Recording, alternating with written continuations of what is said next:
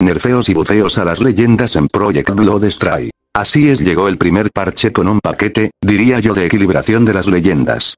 El personaje Ethan uno de los más perjudicados ahora podremos destruir su escudo más rápido. También han nerfeado la torreta de Hank. Le han reducido la cadencia de disparo. Esta leyenda si era algo molesta, más que todo cuando tenías poca vida. Los bufeos o mejoras más destacables son para el médico y para Jep.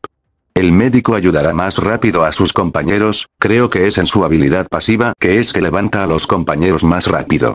Y la mejora para Jeb me parece que sí se les fue la mano. Y es que ahora el rango de las detonaciones se extenderá, y el jugador podrá decidir el punto exacto del primer disparo. Recordemos que primero lanzábamos el bombardeo pero no se tenía una predicción exacta, ahora quedó rotísimo porque de hecho hace buen daño él y con un disparo fijo haremos daño más certeramente. En general me gusta esto ya que le da dinamismo al juego, esperemos y sigan equilibrando a las leyendas y que no dejen unas muy rotas y a otras inservibles.